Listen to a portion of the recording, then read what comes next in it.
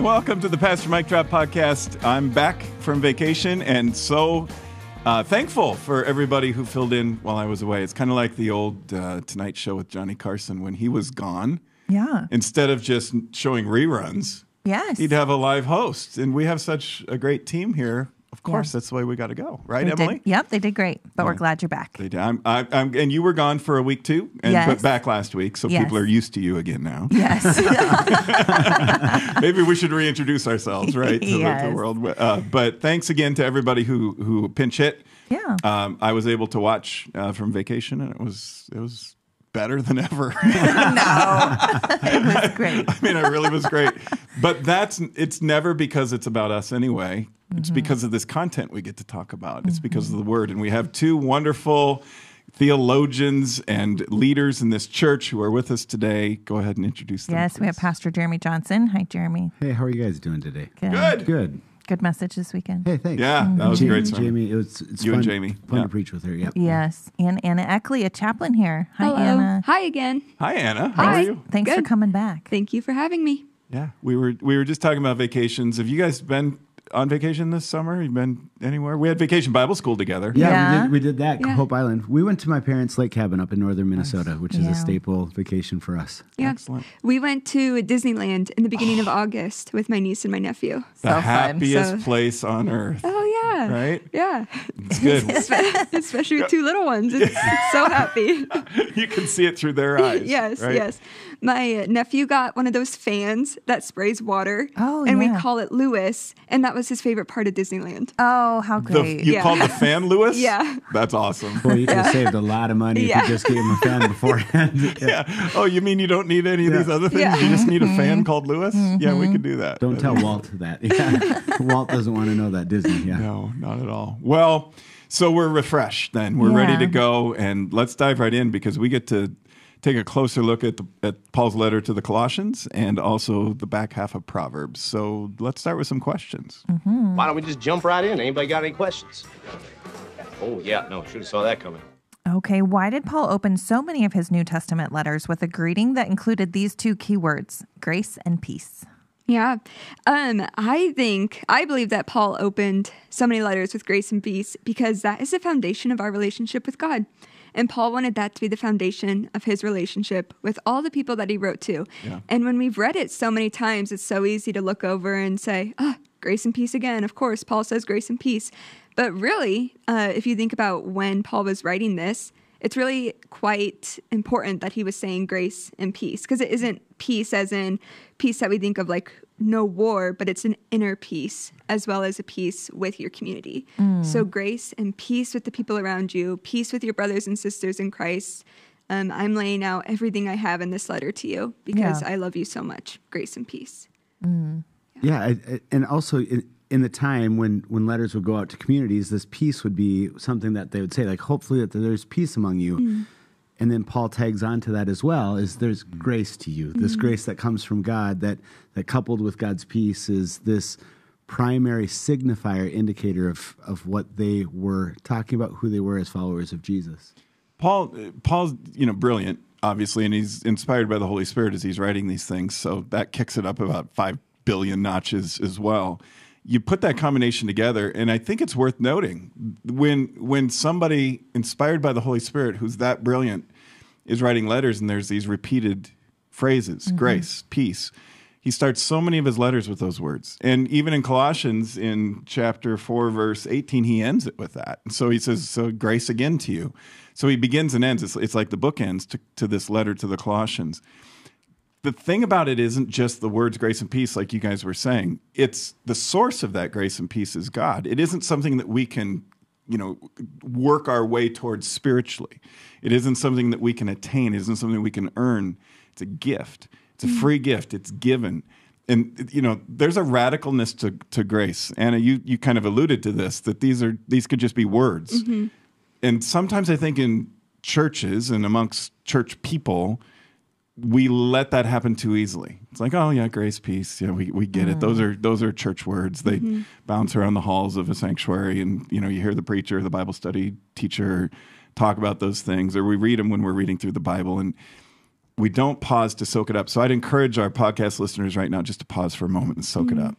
There is a God who loves you, and it has nothing to do with your performance and what you've done and how good you are, how good I am, or how good any of us are, and, and how religious we are and how moral we are. God just gives it to us. It's like, so the Iowa State Fair just wrapped up. Did you go? Yes, yes, I did. I saw pictures actually, right? Mhm, It Yeah. was great.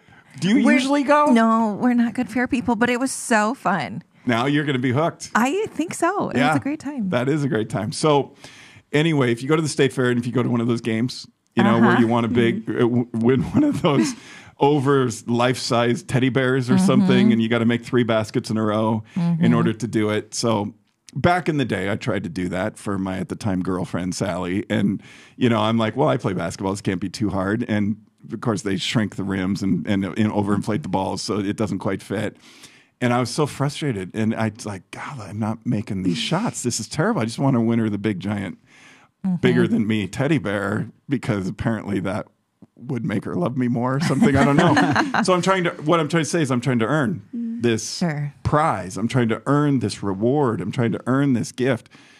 Grace would be if the guy, and he didn't, but if the guy at the booth said, it's okay. You didn't make the shots, but here's the teddy bear. Here, here's, mm. here's the gift. Only way better because we're not just talking about a stuffed toy that's going to wear out quickly.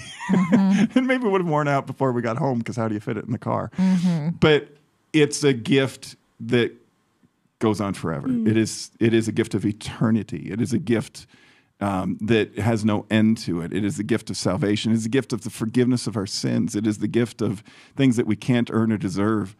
So now hear it again. Paul says grace and peace to you because the grace leads to the peace. And the Greek word for peace is eros, which literally means all the parts of life come together as a whole, that there's wholeness in your life. And the only place we're going to get that is from God and through the death and resurrection of Jesus. And that's going to actually lead us into the next few questions uh, because there is only one place to get this peace. Yeah. Next question is What is heresy, and how does Paul push back against the heresies about Jesus that infiltrated the church in Colossia? Yeah, so this exactly the way that Paul starts this letter is he's saying it's grace and peace that comes from Jesus because in the Colossian church there were these heresies which were false teachings. Basically, they were taking the message of Jesus, and Paul talks about it to the church in Corinth. I only told you about Christ, the one who was crucified. And so Paul is going into this, talking to this church that he didn't start, and he's telling them all of these things that um, and correctives because there are a bunch of people that were teaching these false things like it was Jesus plus all these other things. It was Jesus plus this special uh, knowledge that there was this heresy that um, it was only the spirit that was good and anything that was created and matter in and of itself was evil. Well, you know, that goes against the, the reality that Jesus was human and divine. And so Paul is speaking to these, uh, these false teachings and, and he goes into it and right away he comes and he, and he talks about, let me tell you, it's Christ, the visible image of the invisible God. You want to know where the, where the very foundation of all of truth lies.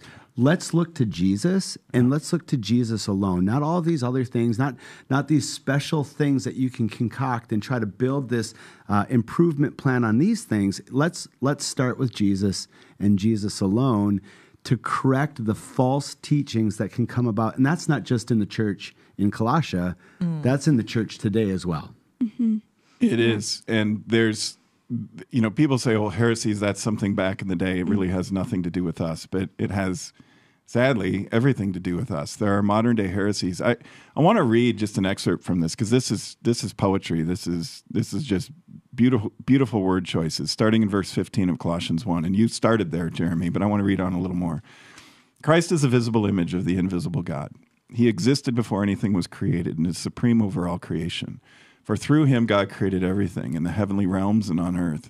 He made the things we can see and the things we can't see thrones, kingdoms, rulers, authorities in the unseen world. Everything was created through him and for him. He existed before anything else, and he holds all creation together. Christ is also the head of the church, which is his body. So Paul goes from spirit, you know, Jesus is God. Jesus is bigger than just a, a great person, a great teacher, a great prophet. He's also um, this this divine. He he is the creator. He is he, you can't completely pull him apart from the the identity and the essence of God. There's one God in three persons, the mystery of the Trinity. But then Paul goes to, but he's also human. He's also he also has a body, and his body is us, the church, the body of Christ. He's the beginning, supreme over all, uh, who rise from the dead, for he is first in everything. So he physically died and he physically rose from the dead to give us hope. And that's where the grace comes from that leads to the peace. And that peace is this tranquil state of a soul assured of its salvation through Christ. And so, fearing nothing from God and con- content with its earthly lot, uh, or whatsoever sort that is. In other words, there's this calm and quiet confidence that comes to us because Jesus is is it. Jesus is everything we need. Jesus is the bomb. Yeah, and I when I was reading through this, I thought I know it speaks to the heresies of their time, but it also speaks to a heresy of our time, uh, and that is uh, people believing that the universe is actually the ultimate power. Right. We can send our thoughts to the universe. There's different energies, and it's so just amazing how right here it says, even Jesus is uh, God is the creator of the universe, and He has reconciled the universe. So even this ultimate power that people go around saying it's the universe. Well, there's a being over the universe, and that's mm-hmm. God. Mm-hmm. Right. The, I'm so glad you brought that up. And we've talked about that before, actually, around a VBS skit, whi- mm-hmm. whi- which, we were Yes. writing, and, and you just really grabbed onto that line. Look, there's probably going to be some listeners right now who are on the fence about all this stuff, who dabble in some spiritual stuff that borders on New Age. Look, we love you. We're, we're not mad at you. We're, we're not like here to shame you or anything like that. But we're also here to tell you when you read the truth of God's word, we have really good news for you. Mm. You can stop the striving and the pursuing of trying to become something special spiritually by your own volition, by your own work, by your own effort, and just receive this gift of who Jesus is. He's more than enough. He conquers all these things. There's a question about that in more specificity later, so I'll, I'll save a little bit of that. But there are plenty of modern day heresies. There's universalism and, and relativism, where we say, oh, well, Jesus is fine for some people, but he isn't going to save you for everybody. Well, you can't read the New Testament and mm. say that. It, it, mm. you, it, ju- you're going to be in conflict with God's word if you say that. And you can choose to do that, but you're going to be in conflict with God's word. That's just not what Scripture says.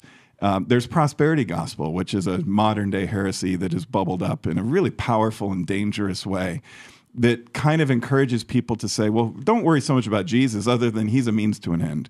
He's he's the guy who's going to make you more famous. He's the guy who's going to make you more rich. He's the he's the guy who's going to give you a little boost um, and and allow you to reach your real goals in life, which are worldly goals. Well, those are the wrong goals. And so, if those are our goals, we won't be satisfied. We won't be whole. We won't have that peace that Paul talks about right from the beginning. Uh, there's Arianism, which is God made Jesus, but Jesus is not God. Jesus is just a good teacher. There's uh, Pelagianism, which is original sin doesn't exist, and that still exists today. Well, well, we're all good people. We we don't have any issues. Christianity says just come clean. just just admit it's, it's so honest and it's so refreshing. Just tell the truth. Uh, there's Christian nationalism, there, that, which we've talked about on other podcasts. There's all these things that bubble up that really sound good at first, but it's like my drive off of the first tee of a golf course. You hit it, and it's it's going to go long, and it feels good, and, and it's and it's just, but there's just something off about it, and just one or two degrees, and then it spins a little bit out of control, and then I'm two fairways away from where I'm supposed to be because it was just a little bit off. You know, it's just just mm-hmm. one degree off where my club head hit the ball. That's the problem with these heresies. They sound religious. They mm-hmm. sound spiritual. They sound like, well, it's just another candy bar. You like this candy bar. I like that candy bar. It, it's all candy and it's all good. No, it's not. it's not all good. Some of it's poison. And then there's the really good stuff, and the good stuff is Jesus. Maybe we should have a Jesus candy bar. Yeah, no doubt. Yeah. Good. Or not. Useful at times. Yeah. Uh. All the time. I'm liking all your analogies today. The fair first, like I wish the guy with the teddy bear would have just given it to our children without all our money. And now your golf ball analogy, like it looked good and then it wasn't. Mine just wouldn't from the get go. So you gotta this, watch out. This is the opposite of some of these heresies where we do live in a real world. We're not just spirit beings, you know, or our spirits. Well, we'll, we'll go on to that in the next Yes. question. What's wrong with Gnosticism? Everything. Okay, and where does it pop up in our world today? What's the truth about God's mysterious plan? All right, look at Colossians chapter 2, verse 2. Paul says, I want them to be encouraged and knit together by strong ties of love. I want them to have complete confidence that they understand God's mysterious plan. So it almost sounds like Paul's getting Gnostic. There was like, because Gnosticism is this, there's this uh, mysterious truth that's out there that only certain special spiritual people or certain special Christians who have certain special knowledge that they've discovered somewhere along the way have acquired. And that's the secret plan. That's the mysterious plan of God. And so they need to enlighten all the rest of it because they've mm. found this one secret special thing that is not some big public truth. It's this private little thing that was hidden in a cave, you know, for years or centuries, and then they found it, and now they're they're they're spreading it to everybody else. But then Paul does this big turn, this twist in verse two. He says, "So I want you to understand God's mysterious plan, which is Christ, mm-hmm. which is Jesus Christ Himself. Period. Done. That's it." And in verse 8, he goes on to say, Don't let anyone capture you with empty philosophies and high sounding nonsense that come from human thinking and from the spiritual powers. The message translation says, the spiritual tyrants of this world rather than from Christ. And we'll get to that in more detail next. But Gnosticism is this, it's this age old heresy. And there are historians will say that Gnosticism hadn't fully formed when Paul wrote this letter, but there were the root systems of it.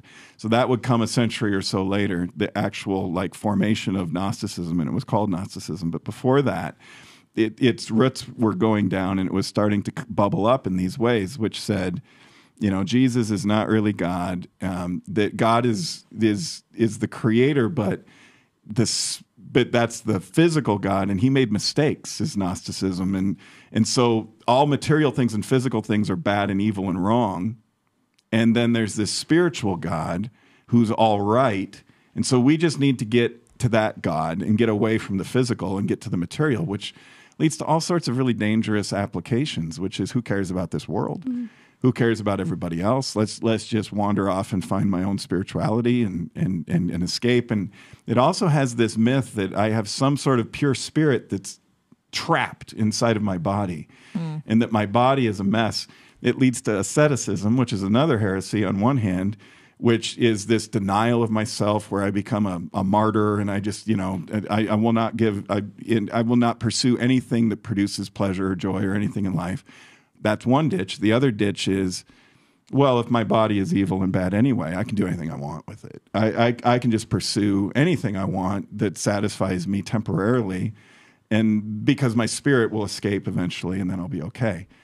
Does this sound like Jesus to you? Does this sound like scripture to you? This is the problem. And this was infiltrating the church in Colossia. And that's why Paul says, but he does it so brilliantly. Mm-hmm. Instead of just like beating him over the head with it, he says, hey, you know, look, here's who Jesus is. He's more than just spirit, he's also man, he's human. And here's who we are. We're more than just, we're also human. We also have flesh. And there's a real, I love this about Christianity. There's a real practical, down to earth part to it, uh, it's, it's essential part of it.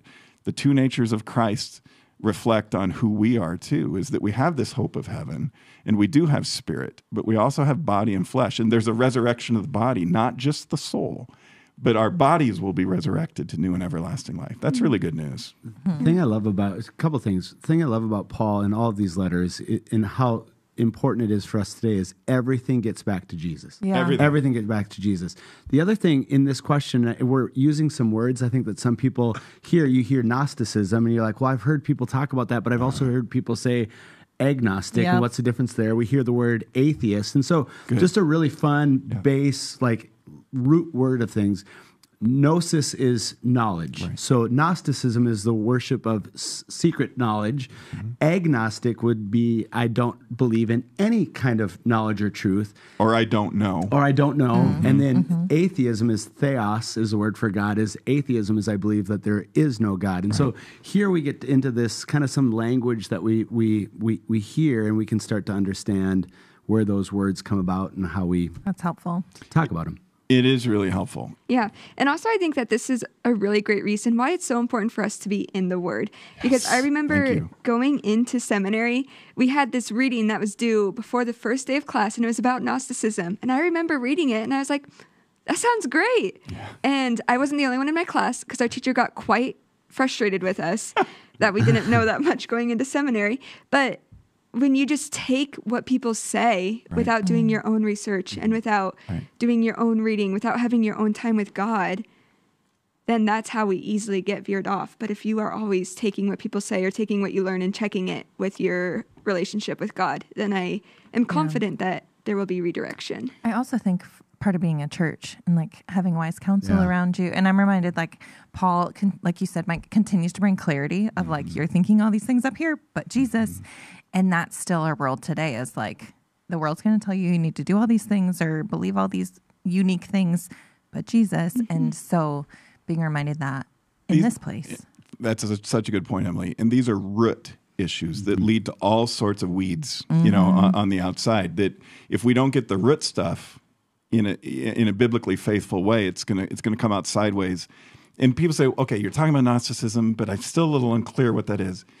It's fortune tellers. It's mm-hmm. it's people mm-hmm. who want to read your palm, and you don't need Jesus for that. I'll, I'll tell you what only God knows. It's original sin. It's it's uh, people who say you got to pray a certain way in order to really mm. get right with God. You got to get baptized a certain way. You, the way you did it wasn't good enough, and, and that your denomination doesn't get it enough, and so you have to do it our way in order. In order, the, the, the root system of all those heresies is Gnosticism. The, the root system is, like you said, this secret knowledge. Uh, that's what the word literally means, and it's what it is. Is it's minimizing God and maximizing us, which is the opposite of any hope that we can have, which is like you guys have been saying, and we and Paul is saying more importantly to the Colossians, stop minimizing Jesus, put him back uh, to the place of the throne uh, of the Lord, uh, not just Savior but Lord, and minimize your humble yourself. Gnosticism is God's not really that great, but we could be great, and so now we're evening the playing field. That's original sin the Bible is so good at correcting these things. You know, we're going to read that later in Timothy, Paul's letter to Timothy. The Bible's useful for correction and, and, and to keep us on course, to keep us from hitting the drive two fairways away, it, which is not going to end well for anybody. Plus, you can conk somebody on the head coming the other way. This this comes out sideways and it's it's messy and that's why we need to know we don't have to necessarily know that it's called gnosticism we don't have to necessarily know we just need to make sure let i guess i'd sum it up this way. Let jesus be jesus. Let him be god. Let him be savior. Let him be lord. And stop thinking we can become savior and lord. That's really at the heart of gnosticism. Mm. I was just it made me think about how many times people will give you a book or a podcast that say, "Here's what it is," but if you read this or listen to this, then you'll truly get it. And it's Sure. All that Jesus plus this little nugget that you know maybe I know that nobody else has had the ability to know before me. and we are just scratching the surface. Yeah. I mean, we haven't even gotten to one percent of it. There's there's a whole rabbit trail you can follow on this stuff. But if you're interested, you can, and we can talk to you about it. And I love to talk about this stuff all day long. But heresies bad, Jesus good. That's what Paul's saying. It's a good word. How does Paul calm any potential fears of first and 21st century readers who might be intimidated by spiritual tyrants? Yeah, this is so. It's just Paul keeps on just kind of bringing. He's the fire hose is open, and he's hitting all of these things. And so if we we go to Second Colossians, and if we start back at the you know, Second chapter of Colossians. Second chapter of Colossians, sorry. Uh, verse 14. He canceled the record that contained the charges against us, and he took it and destroyed it by nailing it to Christ's cross. In this way, God disarmed the evil rulers and authorities. He shamed them publicly by his victory over them on the Christ on the cross of Christ. Then you go down to verse 20. You have died with Christ, and he has set you free from the evil powers of this world. It, it's this this reminder of we when we're joined to Jesus in faith, this gift that God gives us. We talked about that in the in the book of Ephesians. When just faith, daring to trust in God's promises, and they might be true for you, that gives us the ability to know that we don't really have anything to fear. Now, there are things that are going to happen that aren't going to be comfortable. They aren't going to be good but there's a lot of fear that we live under wondering if we're if we're doing it right. Somebody's told us we're doing it wrong, and Paul again is saying, don't forget the power of the resurrection and what happens when you're joined to that. And you mm. don't have to live in fear of that any longer. You don't have to live like, am, am I okay? Am I okay? I think. I, I'm sure we all could go around this table and talk about all the people that come to us and say, I just want to know, am I okay? Because somebody may have told me that I'm not doing enough or all of this. And I, Paul's saying, no, Jesus is enough and you're joined to him. And it's a steady stream of really good people Yeah. Mm-hmm. who've been Christian their whole lives. But there's so much noise out there that deceives uh, good Christian people to say, you might not be doing enough, or you should be intimidated by these demons or, or these spiritual, and supernatural things. And, you know, Time Life has a whole series of books that you can Yeah. subscribe to on that. You, you, you, should, you should, you know, when you see some of these movies, you know, about uh, omens and spirits and all these, oh, oh my goodness, that, that's really intimidating and scary. Unless you have Jesus. And then it's a nothing. I mean, it's an absolute nothing. That's what Paul's saying. This Jesus, who you know, Colossians, but you've just been um, influenced in the wrong way. You've been misled. Go back to this Jesus that you met once upon a time and let him be who he is. Let, let him be the conqueror of, of all enemies. Now that puts in perspective all these you know ghosts and goblins and, and, and the scary things. It's why we don't have to be worried about Halloween. It's why we don't have to be worried about any of this stuff. It, we've got Jesus. Let's start acting like it. That's good. What does it mean to think about the things of heaven, and how does thinking that way help us get on the right side of the detailed list in Colossians 3, verses 1 through 17? Yeah. I thought it was really cool. Before we started the podcast, we were divvying out questions. And when I took this one, I just said, our education might be a little different here. And so, mm. for anyone out there who thinks that all of us think the exact same thing and all of us have the exact same experience in education, mm-hmm. we all come from very different places. But when we, going back to the question, when we talk about things of heaven and heaven on earth, uh, it's really fun to think about heaven. It's really beautiful, as it should be, because mm. heaven is a place of joy. Heaven is a place where there is no more sorrow, there is no more mm. crying.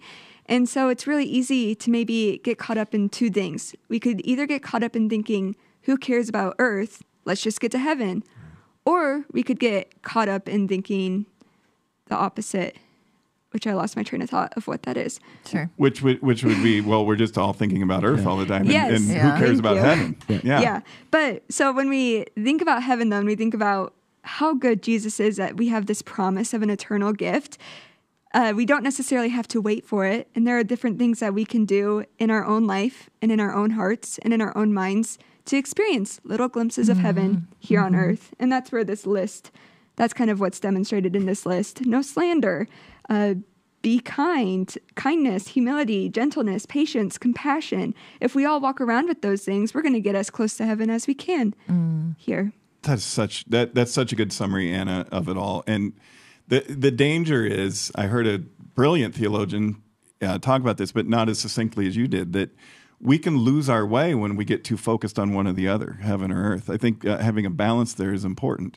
We live in this world. All right, look around. What, how how can you bring more of heaven to earth? I mean, we pray for that in the Lord's Prayer, on earth as it is in heaven. And so, how is it in heaven? Well, that's the list that you mm. mentioned here in Colossians 3. You know, above all, clothe yourselves with love, which binds us together in perfect harmony. Forgive each other. Do, do these things that Christians do. Here's, I just, man, I, I'm so glad we get to talk about these things. And I hope this helps just somebody out there who's like, okay, I'm going to do the good list. I'm going to start, do, I'm going to mm. start doing the good list more. I'm going to stop doing the bad list and that's going to last about as long as as a as a well-intended alcoholic who's trying to stop drinking on his own or her own. I'm going to stop drinking. I'm going to start doing healthy things. And how many times do we make vows like this about our health, our well-being, our our our attitudes, the way we're going to live? I'm going to do more of this. I'm going to do less of that. It's the New Year's resolution approach to life and it very sometimes works, but very rarely holds. We're going to need something more. We're, we're going to need something, and, and to get to the good list, the love, forgiveness list, the peace list, the, the, the compassion list, and to get away from the list of all the sinful things that Paul lists there. He's fond of making lists. We, we started to notice in these Yeah. letters. How do you get from the bad list to the good list? It's Jesus. In, instead of saying, I have to do, or you have to repent, you have to do all these things, you have to stop doing these things and start doing these things. How's that going for everybody? Instead of that, it's a surrender. It's a surrender to God's will. It's to say, I'm going to change the way I think. I'm going to start thinking of things of heaven. I'm going to start trying to bring more of heaven to earth. I'm going to change the way I think about these things. That's going to inspire the 10% of our con- congregation that's in recovery from addictive behaviors to live a new life one day at a time. And they don't go back because and they celebrate a, guy just posted on facebook 34th birthday you know of mm-hmm. new life from not drinking anymore. Alcoholism was his life and now he's like it's probably half his life. He's got to be in his late 60s now. He says so it's my 34th birthday celebrate with me. How many times do you think he tried to quit mm-hmm. on his own? Mm-hmm. how many times do you think he tried to go from the bad list to the good list on his own? Here's how you get there. Change the way you think. Surrender. What is what do the 12 steps teach us from aa well they're bible based they're right out of colossians and other places admit that you have a problem surrender to a higher power to god um, and, and then the power comes in and it starts to change us that's how repentance happens repentance literally means change the way we think it doesn't mean stop being bad start being good that's only going to happen when we change the way we think. Mm-hmm. I, so our our kids are only 18 months apart, and so because of that, and their teenage age, they they get sick of each other, and we get sick of them, like that whole thing. and uh, so, but here's the thing: um, when they're frustrated with each other, my question to them always is: is what what are you thinking about the other person? Mm. Because so often, I think Paul's saying, set your eyes on things above. Yes we it's really easy to look at a person, at a system, at ourselves, and we look at it with really a deficit mindset. And so what what what I'm trying to get my kids to do, which I need to take lessons from that encouragement, is what does Jesus think about this? Mm-hmm. What does Jesus think about me? What's the truth of God? What's the truth of his love? What's the truth of Jesus? And when when that becomes the focal point that I'm fixing on, it's amazing how things change like if if there's somebody who i feel has just wronged me it's really easy for me to continue to feel how wronged i've been and that person becomes my enemy mm. but when i recognize that that person probably wronged me unintentionally out of a place of hurt and i can start to think about that person as somebody who like me is in need and deserving of god's love and grace now I can look at that person with compassion. I can look towards solution rather than exacerbating a problem. And Paul says, so let's think about our lives and focus on the realities of the love and the grace of Jesus Christ and see how our communities change. And I wonder, especially in this year coming up, how important that will be for all of us. Mm, yeah. When we think about the things of heaven, it reminds us who we are. Mm-hmm. It doesn't just remind us who God is and who Christ is, it reminds us who God has made us to be and how Christ has redeemed us and like you're saying, when we do that, it changes us. That's where the transformation happens. It doesn't happen because I will myself to be better. It happens because I, I, don't even start with changing the way I think. I start with Jesus' sacrifice. I start with what God has done. I, I start with grace that leads to peace, which yeah. is where Paul starts his, his letter mm-hmm. and ends his letter. Then our behaviors change once we realize who we are, not because someone shamed us into changing our behaviors, which is the way too much of Christianity does this and teaches this. Let me shame you for who you are and what you do and get you to change because of that. Well, good luck. You know, instead, just let God remind you who you are. Mm-hmm. Let God remind mm-hmm. you what, what He's made me to be. I'm not just talking about yeah. you, I'm talking about me. This is a struggle. And I also want to say this. And I want to say this like, and I've graduated from these problems in my life. And so therefore, just do it like I do. This is a struggle, and we will all fail and we because because it's distracting this world and it's easy to live for the glory of myself or the glory of somebody else or the glory of, uh, of worldly goals or whatever it might be instead of the glory of god but when i get life right my eyes are on heaven my eyes are on jesus and then that brings more of heaven to earth in my life this has been a, a practice of mine for for some time now because this is something that I'll, I'll struggle with like i'm in, like in my own my own personal thing is and so one one of the when I end my devotion in the morning, it's God allow me to see others the way you see them today. It's huge. Mm. And if I can start my day there, I feel like at least I have a fighting shot. You know, like mm-hmm. let me see others the way that you see them, and it just hopefully setting my eyes there helps to change a little bit. Yeah. And also, when we look at this list, uh, how much of it actually lines up with the things that we are asking for? Uh, for example, if we are striving for status, there's nothing about status on here. If we're striving Yeah. for more money in our salary, there's no salary in here. But instead, what if we strive to be kind and patient? What if we strive to see others how God sees them? So, just that's also challenging. Like, where are your desires, and do they line up with the desires that God has for us? Absolutely. It's one of the proverbs that we're reading this week, um, and I'll just paraphrase it and try not to botch it too much. But instead of living for worldly, material things that aren't going to satisfy your soul, live for things that are more significant, the virtues of life, the, the kindness, like you said, or how do you get a good reputation? Well, you don't lie, you don't cheat, you don't hurt people, you don't you don't make life all about you. Uh, you don't manipulate people. You don't you don't try to wiggle your way through things you surrender all that. You you you change the way you think. You get your eyes on heaven, and yeah, we spent a lot of time on this one, Well, but it's big. good. Yeah, it is big. What do you want our podcast listeners to know about Paul's Mm. instructions for wives, husbands, children, and parents? This one gets a little trippy for people because it starts wives submit to your husbands as is fitting to those who belong to the Lord. We know from so we call this God's electric power company, Galatians, Ephesians, Philippians, Colossians. We know from Ephesians Paul kind of hit this too. And there it's a little more clear and Paul's consistent. And so he says submit to one another and then he says wives to husbands, husbands to wives. So we have a consistency with Paul. So we know that he doesn't just mean one direction. But it's also really important to know the historical context this is first century Rome. This is not 21st century North America or Western Europe. This is first century Roman culture where um, men were in charge of their households. Women, their wives, were in essence property, and so were their children. And so men were like the lord of the manor. You know, the, the, they were the king of the castle, of their own home, their household and that would include anybody else who was a part of their household. And in Roman first century culture, some who had a lot of uh, money, uh, well, were well to do, would have slaves too. Well, they were considered part of the family as well, part of the household. And so Paul is just blowing that out of the water in a radical way. He's saying, you know what, men, you're not in charge. Jesus is in charge of your house. He's the head of your household. You have the honor of having a wife submit to you as you would submit to her in other ways. She'll submit to you, and so and then the two can become one instead of instead of pulling against each other in a tug of war. You're pursuing each other. Where the husband says, "How can I serve you, my wife?" and the wife says, "How can I serve you, my husband?"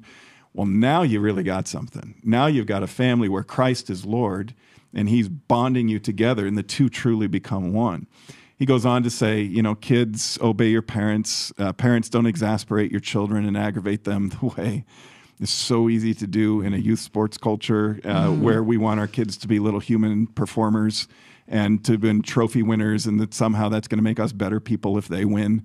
I went through all that, and I know those temptations are big, and our kids were athletic and all that kind of stuff, and so it's like it's never enough. You know, you always want, well, yeah, well, but but you you got that, but then that other kid got this. So maybe if you just tried a little harder, you could get that too. And boy, did I learn that lesson hard ways. You know, fortunately early on, and and then I repented and changed the way I thought. Uh, but Paul's here saying the way the world does family is not the way Christians should do family.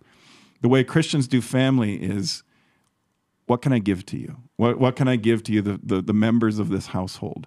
And to be, to be the Christ like uh, uh, husband or, or father of the house, well, what kind of a leader was Christ? He's the one who took a knee and washed the feet of his of, of his household, of his family, his disciples. He's the one who went to a cross. He's the one who died for his family. Um, okay, there it is. That's men. You you want to know what your role is? It's total service and surrender and submission to your wife and kids and household and the people you're responsible for. One of the things I think is so beautiful about the way that Paul writes is he and he talks about it in Corinthians where he says, I, "I've become all things to all people," but he does it in his writing in a way that he starts the thought out in a way where people are like, "Ah, "I'm tracking with you, I'm tracking with you," and then he spins it because of the gospel, because the gospel turns an upside down world uh, and turns it right right side up, and so he's like. You know, he starts off, wives submit to your husbands, and there are some people reading that would be like, oh, good. And then he's like, and then here's the way that that looks. And then it, he subverts it in the best possible way.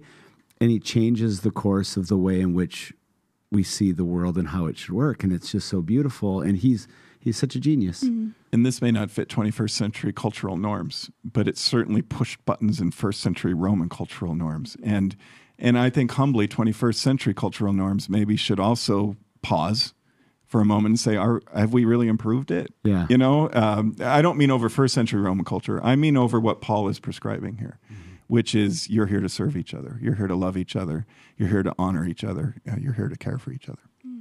You mentioned slavery, so clarity question for you. Is the Bible pro slavery or is there something else more going on in Colossians 3 22 through 4 1? there is something else more going on uh, in, in Colossians 3 and 4 because people will read this in verse 22. Paul says, Slaves, obey your earthly master, masters in everything you do. Try to please them all the time, not just when they're watching you. Serve them sincerely because of your reverent fear of the Lord. Work willingly at whatever you do. And here's the twist. You know, Jeremy, you talked about Paul like is moving along, and anybody who'd be pro slavery, nasty people. yeah no doubt Anybody be like, oh, yeah, see, the Bible talks about slavery like it's something that it's endorsing. I would challenge you on that thought, first of all. It never endorses slavery. It never says slavery is God's ideal or idea or what God has ordained or wants the, in the way he wants to be. In fact, 1 Corinthians 7, verses 21 and 22 make it very clear. Paul is saying, hey, freedom for slaves would be a good thing.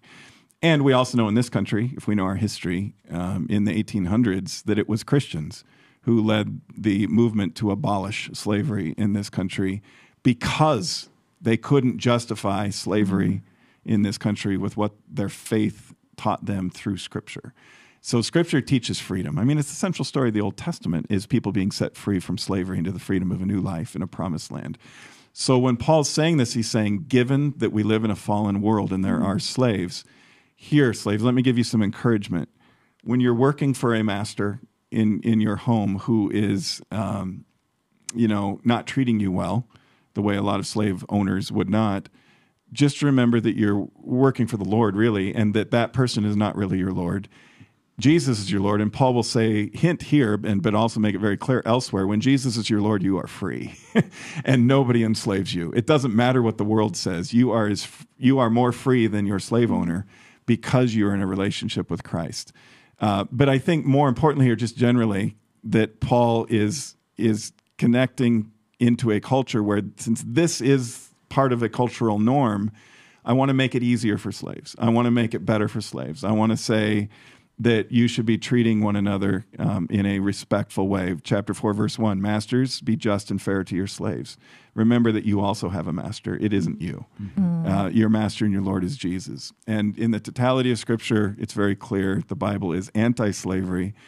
And in Colossians 4, there's a hint that kind of sets us up for Philemon, where there's this slave named Onesimus. Uh, Were you going to talk about that? I'll, I'll save it No, if you were. great. No, but yeah. Onesimus um, is a slave, and Paul's basically saying, receive him as a fellow brother in Christ. Well, okay, he's not a slave anymore. You can't look at people by worldly status, you look at them through the eyes of heaven again. And there, there it is again. When we see this world through the eyes of heaven, we don't just see other people differently, we see ourselves differently. It's it's Paul who says there's no longer Jew nor Greek nor slave nor free, male nor female, for we are all one in Christ Jesus. Mm-hmm. That's right. That's it. God's ideal. Yeah. Good clarity. What does Colossians 4 6 teach us about the words we choose as Christians and why does it matter? Hmm. It teaches us that our words are important because who we are as a witness is important. And the mm-hmm. best way that I think I can illustrate this is if you've ever had a conversation with someone who was just really grumpy, maybe, and I'm sure I've been that person too, so I'm sorry. But, and you're just like, I, don't- haven't had that conversation with you yet. no, yeah. I don't But I'm sure it'll come. Maybe yeah. You you have freedom to do that. Yeah, and maybe, and at the end of the conversation, you're either like, "Thank goodness that conversation's over," or you're like, mm-hmm. "I really never need to speak to that person again," or "Do they even like me?" And that's because our words are so important. They can put so many things in our mind and in our heart. So if our words aren't pointing to Jesus, mm. then then that's deterring people. And I really I found this quote that I really like. And it's our words reflect our character and our character reflects the character of Christ because as Christians that's who we are pursuing. Uh, we're pursuing those values and those traits of Christ in our own life. And so our words can either bring life to Christ and be a tool of resurrection mm-hmm. or the opposite. So I mm-hmm. hope that you choose to make your words a tool of life. Don't be the opposite. Don't be the opposite. Don't opposite. be the opposite. Words are powerful. What, what were you told as a kid? Sticks and stones may break my mm-hmm. bones, but words will never hurt me. And that was the biggest, like, that was the biggest untruth we could ever have. And so, I, you know, you, you just nailed it. Is are you using these gifts that we have in the language that we've been given as a way to build up or tear down? I had a mentor of mine at one point say, when I said something that wasn't kind, she said, "Was that for your benefit or for mine?" Ooh. Hmm. and I just thought, boy, that that that kind of reduced me to realize the like how impactful the words that I was sa- that I was saying actually were. It's so hard, and and because it's usually for us that we say those things that are sideways and off and wrong. Uh, it's humbling to be reminded that it's probably because something inside isn't right. Yep. So, so it not necessarily, sure, it's really easy to see what's wrong with people and with the world and, and criticize. Somebody told me once, um, who's no longer with this church, came and said, Pastor, I have the spiritual gift of, um, of complaining and um, seeing what's wrong, you know, and so I'm here to help you with that. And I'm starting with you. Like, well, it's not a spiritual gift. It's nowhere in the Bible as a spiritual gift. Um, and it doesn't encourage, it doesn't uplift. Now, there's a time for constructive criticism. There's a time that we need to be open to hearing that. But it usually helps if you know that person's coming with love. You know, it usually helps if you know their motive is for the betterment of of everyone and not just they've got something Yeah. icky going on inside of them that that needs to come out in order for them to feel better temporarily for about eight seconds and and then they'll need somebody else to criticize. But paul also says here let your conversation be gracious and attractive so that you'll have the right response for everyone. It's an it's a mission oriented statement too. So that you it's, it's not just in our day-to-day speech but also as we testify about who jesus is that we would be, as Jesus says, wise as serpents and innocent as doves, that we would have that balance, that we would be able to, to talk about these things in a way that's compelling and not shaming. I'm going to get back to that again. Too much of Christianity these days is you should believe in Jesus and I'm going to shame you into it instead of let me um, let me follow Paul's lead here to the Colossians where he will he will put it out there he'll speak a truth but it's always with his heart and love. He, he even says in other letters, I'm crying as I write this because people have wandered. I love these people who've wandered away from the truth, and I want to lead them back to that truth. I hope that's our motive as church people. I hope our motive is tears of sadness because we want people to know Christ instead of, oh, those terrible people. Because there's so many voices in our world today that say, hate the people you disagree with. And that's what it's really all about. Uh, mock them, post things about them, say things about how terrible they are. And that somehow that's going to, it's like your mentor said, Jeremy, there must be something inside of you that needed to say that because it really isn't about them anymore. Our words and our tone of our words can be a looking glass to our heart, right? Yep. You- Doesn't mean there isn't Yeah. a time to criticize. Doesn't mean there isn't a time to debate. Doesn't mean there isn't a time to have these tough conversations. But come on, Christian, you know, let your motive be love. Uh, let your motive be righteous. And and let that witness that we have as missionaries of Jesus Christ, let it let it be effective. And that has to do not just with the words we use, but the tone. Yeah. And it's hard to get that right. Yeah. And also, if you do have a day, like all of us do, where maybe your words just aren't kind and you're reflecting on that, an apology always goes a really long ways. Yes. So it's not something that you need to hold on to and just be embarrassed by, but just apologize and recorrect your actions because that can really change someone's heart and mind on a situation. I have done that many times uh, for coworkers around here, family, friends. You know, it's it's. Um, I don't always get that right either, but boy, sometimes when you see it, just instead of pretending you didn't, just admit you did. Yeah, I'm sorry. Uh, switching gears to wrap us up here today, what verse or section of Proverbs 16 through 31 stands out for you, and what do you want Bible readers to know about it? So Prover- Proverbs sixteen twenty five. Kind words are like honey. Wow, right on There cue. Yeah. Uh, Proverbs sixteen thirty three. Uh, we may throw dice, but God delivers how they fall, or directs how they fall. Seventeen nine. Love prospers when fault forgives, but dwelling in it. Uh, love pros- prospers when fault forgives, but dwelling on it separates friends. Rumors are dainty morsels that sink deep into somebody's trust. Hmm. I mean, my goodness. You- I mean, that's just that's just 16 and 17. You could continue to go on and on and on. So, yeah. It's good. Yeah. How about you, Anna? Um, I always get caught up on Proverbs 31. I think it's a beautiful chapter, but also if you Google Proverbs 31, it's like how to be a perfect wife. And I'm a new wife and I don't do any of those things. So You don't have a field that you go out into and, No. and make your own clothes. I'm rarely up before Yeah. sunrise either. So I just want to say that if you read that and you feel discouraged, um, I just challenge you, and because we don't say it enough, that you are doing great and that you are great and that you are a daughter. You're loved and you're cherished. Right. It's not. It's not a prescription. It's a description of, of a particular. Uh, well, an ideal, really, not even necessarily an actual person, but an ideal. And it's not that it's bad, any of those things, but the it's a pres. It's not a prescription. The prescription is who God made you to be. Be that. You know. Be be that, and be content with that, and and realize probably nobody's going to hit all those on that list. We talked about words, and here's a couple of proverbs that stood out to me on that. Um, Proverbs 20, 22. Part of, so we're in the back half of Proverbs right now, so I'll stay away from the first 15 chapters. Uh, 20, 22. Don't say, I'll get even for this wrong. Instead, wait for the Lord to handle the matter. People think, oh, well, the call to not take revenge on people doesn't come till the New Testament. Eh, it was right there. It was in the Old Testament wisdom literature. Um, anyone who loves to quarrel, Proverbs 17, verse 19. Anyone who loves to quarrel loves sin. That's blunt. Yeah. So you like to pick fights with people? You think that's fun and it's just who you are? The scripture says work on that because if you do that, if you love that, you love sin, and you're just you're just doing that for you. Probably goes on to say, um, anyone who trusts in high walls invites disaster. I'll let people make their own application on that one. I'm just telling you, don't fight me on it. Fight fight the word of God on it. If it's all about putting boundaries between you and everybody else all the time to protect you, you got a problem with scripture. There's one more. A lying tongue hates its victims. This is Proverbs 26, 28. And flattering words cause ruin. Um, flattery is a form of lying. When we just fluff people up, but we don't mean it in our hearts, we're doing it for us. Again, we're trying to manipulate them. We're trying to try to get something out of them. Um, that's challenging, I think, in a world where a lot of people use that approach. Like, I'm going to say things I don't believe about you uh, in order to try to sort of encourage you, but deep down, maybe my my my darker, more prominent motive is I want to get something out of you. You know, I want to I want to try to do that.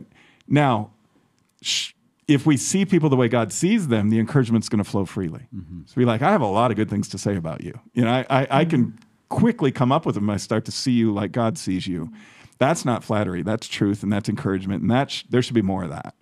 But when it's just manipulative flattery for the sake of trying to get something out of somebody, well, that's that's not going to end the way you think it's going to end. Is what Proverbs is saying. What so many of these proverbs are saying. It sounds good to the world, but deeper wisdom, God's wisdom, heavenly wisdom, um, will point you in a better direction. Yep. I, so many of these are all about human relationships and the things that get in between them. It's very down to earth. Yeah. Yeah. I think maybe a common thread between Colossians and Proverbs is Paul's saying Jesus is everything. The fullness of God's deity dwells bodily in the person of Jesus Christ. He says, but it's also that this Jesus is a down to earth God and that mm. our faith is very practical and that the life we live in this world matters. How we treat people today, listeners, it matters. How we interact with people, how, how we care for people, how, how what, what our motives are, it matters. Mm-hmm.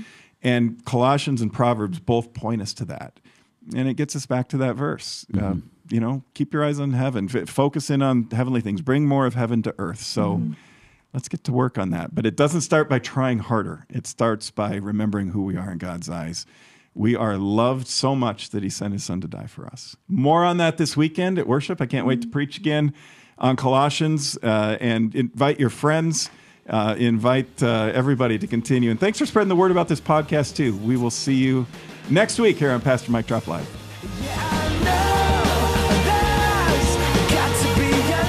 Thanks for joining us today. Please make sure to like and subscribe on your favorite platform, and we'll see you next time.